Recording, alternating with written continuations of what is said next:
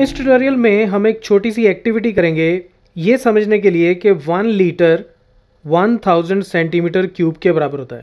देखो, ये एक्टिविटी मैं आपको इसलिए समझाना चाहता हूँ कि अक्सर क्या होता है कि एग्ज़ामिनेशन में आपको ये यूनिट्स याद नहीं रहते। अब कभी कभी एग्जामिनेशन में आपको पूछा जाता है कि सेंटीमीटर क्यूब को लीटर्स में कन्वर्ट करो या लीटर्स को सेंटीमीटर क्यूब में कन्वर्ट करो तो अक्सर आपको कन्फ्यूज़न हो जाती है। तो उसके लिए क्या है कि मैंने क्या किया है कि एक मैंने क्यूब बनाया जिसको आप भी घर पे बना सकते हो।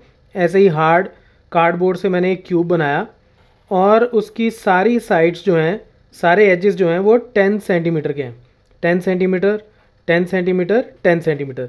Length breadth और हाइट। और एक तरफ़ मैंने वन लीटर वाटर ले लिया, ठीक है?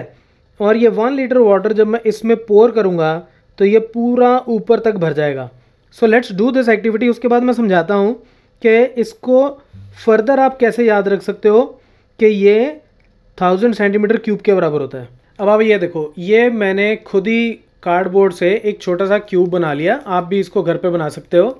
और इसकी डायमेंशंस जो हैं, वो इस तरफ़ देखोगे तो टेन सेंटीमीटर इधर देखोगे तो टेन सेंटीमीटर और इसकी डेप्थ देखोगे तो वो भी अप्रॉक्सीमेटली टेन सेंटीमीटर मैंने बना रखी है। ठीक है? अब ये मेरे पास एक लीटर पानी है। ठीक है? अब एक लीटर पानी को मैं इसमें डालता हूँ। ये मैंने पानी को इसमें पोर करना शुरू कर दिया और ये मैं सारा पानी इसमें डाल देता हूँ। और आप देखोगे कि ये बिल्कुल ऊपर तक भर गया है।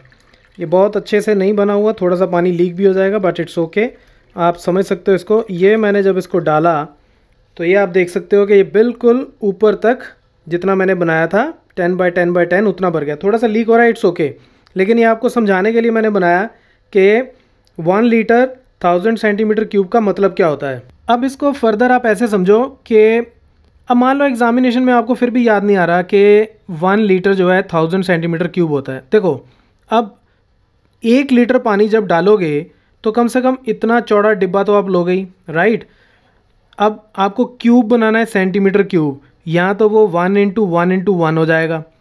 One centimetre one centimetre one centimetre. तो ये तो वन सेंटीमीटर क्यूब हो गया, यानी कि ये बिल्कुल छोटा सा डब्बा बन जाएगा इस साइज़ का, ठीक है?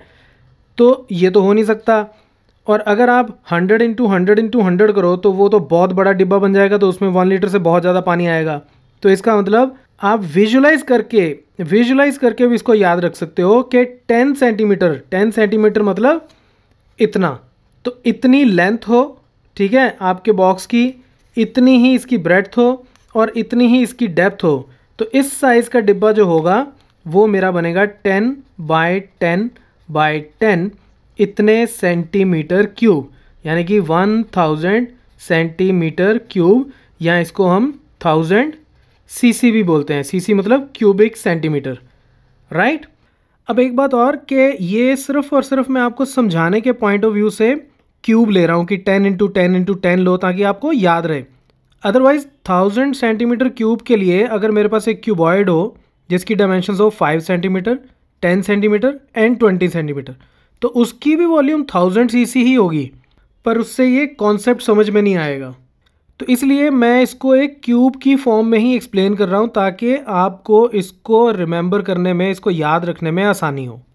सो आई होप अब एग्ज़ामिनेशन uh, में अगर जस्ट इन केस आपको ना भी गिवन हो कि thousand centimetre cube one litre के बराबर होता है या आपको ना भी गिवन हो तब भी आप इस एक्सपेरिमेंट को दिमाग में रखें और विजुलाइज करके हमारे पास जो भी फिगर है वो इस तरह की है। ये तो आप फिर भी याद रख सकते हो कि यहाँ तो हंड्रेड सी है या थाउज़ेंड सी है या टेन थाउज़ेंड सी है राइट तो यहाँ तो one into one into one है या ten into ten into ten है या hundred into hundred into hundred है।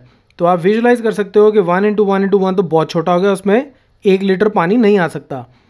Hundred into hundred into hundred बहुत बड़ा हो गया, उसमें तो बहुत ज़्यादा पानी आएगा तो वो भी नहीं हो सकता। तो यानी कि आपकी जो ऑप्शन बचती है वो है ten into ten into ten और ये जो हमने अभी अभी एक्सपेरिमेंट किया, आप एक बार अगर घर पे खुद कर लोगे तो फिर ये आपको कभी भी लाइफ में भूल नहीं सकता।